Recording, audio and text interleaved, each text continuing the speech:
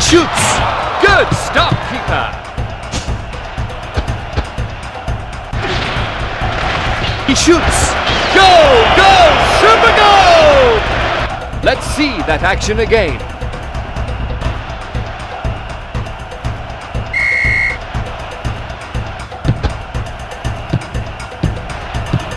Foul by Italy.